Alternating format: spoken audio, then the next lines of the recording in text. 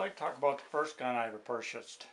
This is a Smith & Wesson 5906 in 9 millimeter. It is, um, I bought this 1993. I think I paid $529 for it. I actually put it on layaway. It took me a few months to actually get it paid off. But, um, beautiful gun. This was back in 1993 when Clinton was uh, going to be president. So everybody was worried about they were going to go to uh, 10 round magazines. So a lot of people went out and was buying guns because this one holds 15 rounds. And uh, it was kind of a panic back then, but uh, I, I just love this gun. It's a 100% original. I haven't done anything with it.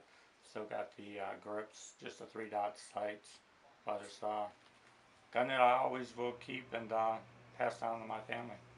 Thank you.